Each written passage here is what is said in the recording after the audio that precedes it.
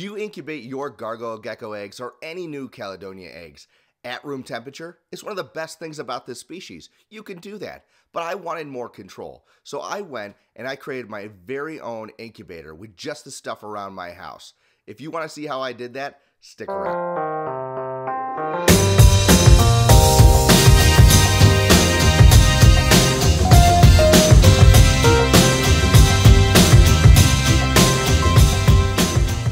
Guys, this is to be a relatively short video because it is so simple.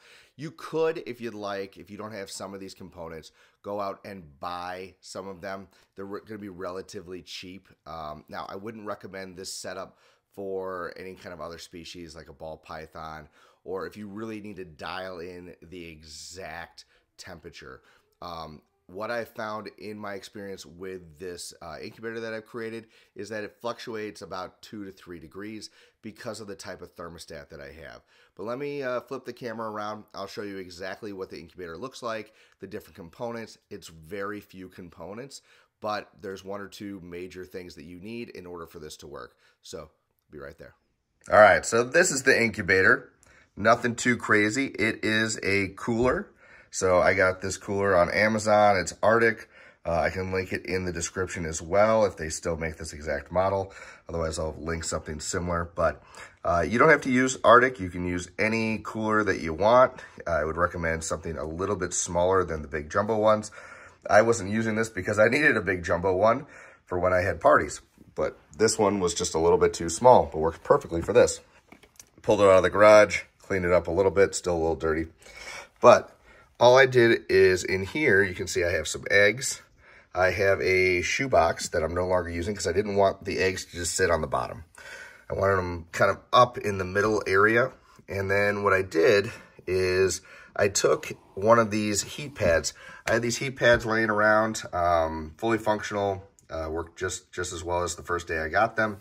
Um, but this is when I uh, used to keep uh, leopard geckos and fat tail geckos. This is just an under the tank heater. Really simple. Uh, gets warm, all right? And then with the double insulated wall cooler, uh, it creates a great environment. But you'll also notice that I have a heat probe here. Just sticking this in here and throwing it on full blast, you're gonna go and cook your eggs. We don't want that. So, just like when I used this with the geckos, with the fat tails, and my other species, I used a thermostat.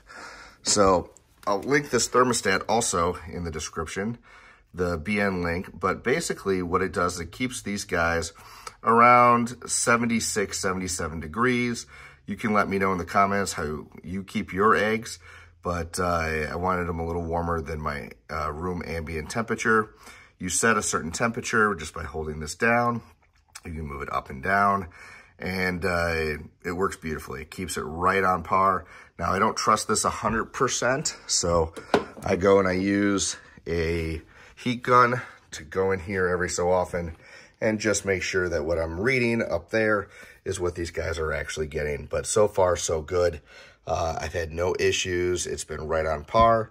So this is just my simple, easy solution. I've got this plugged into the thermostat, plugged into the wall, and I just let this thing ride.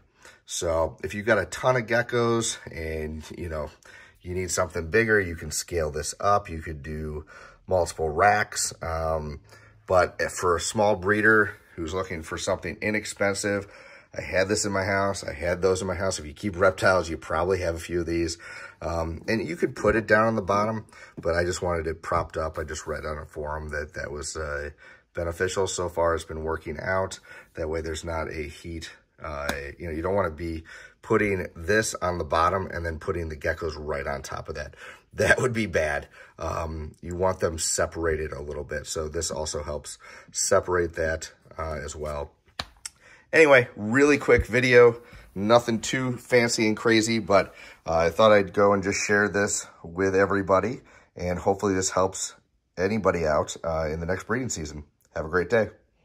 Hey, if you've enjoyed this video and want to encourage me to make more Gargoyle Gecko content, do me a favor, hit that subscribe button, share this with a friend, and maybe uh, check out one of the videos right over there. I'll see you next time on Gecko Cove.